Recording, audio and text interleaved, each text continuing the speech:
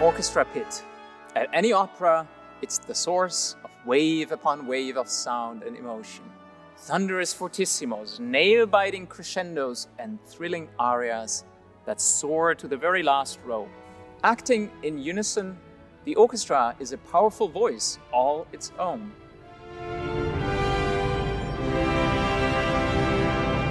Individual artistry unified in purpose and passion. And yet, who are these unseen talents? I'm Johannes Debus, music director of the Canadian Opera Company in Toronto.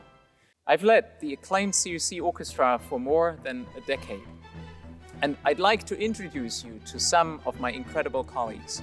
Over the course of Solo Spotlights, we're going to explore precious moments where the spotlight shines on a single musician or section. We'll hear firsthand from professionals about the delights of the musical spotlight and what it feels like to play solo in a high-stakes live performance.